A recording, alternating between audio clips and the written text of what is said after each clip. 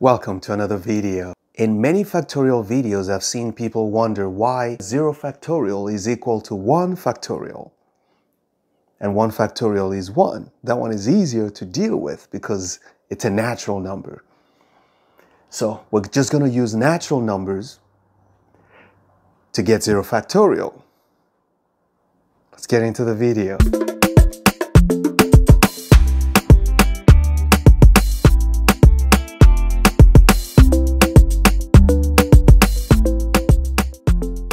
Now the first thing we're going to do is write the definition of the factorial.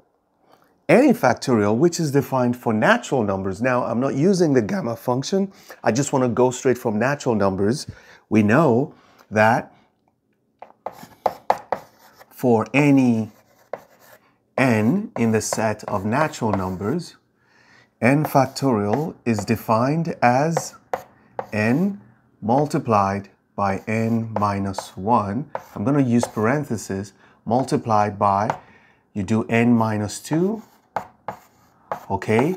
You keep going until you get to 1. This is what we call the factorial of a number. We just keep subtracting 1 until we get to the end. So if you take an example, say you take 3 or you take, let's, let's just take 3 or 4. 4 factorial, for example, is going to be, start from 4 times 4 minus 1. Let's write it that way actually because there's a point I want to make. And then we have 4 minus 2. Then we have 4 minus 3. Well, because we usually stop at 1, we're going to do 4. Oh, I think that's it. Actually, that's 1. So we're going to stop here because that would be 1 actually. So this is going to be 4 times 3 times 2 times 1 and that gives us 24.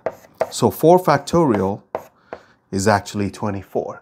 Based on this example I just did for 4 factorial, you will observe that I could have written this as 4 times 3 factorial because we could have said that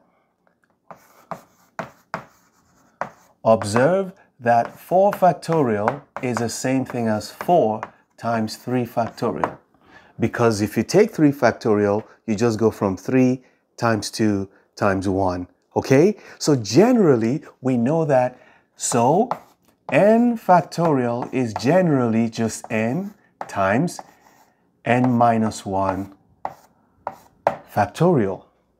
And if you want to break this down, you can say it is n times n minus 1 times n minus 2 factorial. Now, the factorial belongs to the last digit you wrote. It does not belong to everybody. So if I write 2n factorial is the same thing as 2 times n factorial. Note that. So the factorial is not, the, is not 2n minus 1. No, you cannot start your multiplication by saying 2n minus 1. So now let's choose n to be 2. Let n be equal to 2. It's a natural number. We know that 2 factorial will be, if we do this, it's going to be 2 times 2 minus 1 factorial. What is 2 factorial? It's just 2 times 1, right? Which is 2. What is here? This is 2, it's just 2. What is 2 minus 1? Oh, it's 1. So this is our 1 factorial. So now, can we isolate 1 factorial? What do we get as our answer? Well, we divide both sides by 2. If you divide 2 by 2, you're going to get your 1 factorial. And what's that? It's equal to 1. So this implies that 1 factorial is equal to 1 and we're done. So we have shown that 1 factorial is 1, but we need to show using this same strategy, I'm sure you can see where I'm going now, to show that 0 factorial is equal to 1. Okay, so the next thing we're going to do is we say let, let's go to the second part. Let n be equal to 1. We're still going to use this expression. So we know that n factorial equals n times n minus 1 factorial. 1 factorial will be equal to 1 times 1 minus 1 factorial. We know that 1 factorial is 1. We already showed that in the previous step.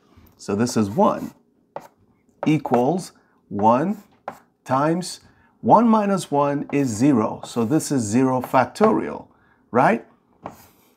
So we can get 0 factorial by dividing both sides by 1. So we can say that 0 factorial is equal to 1 over 1, which is equal to 1.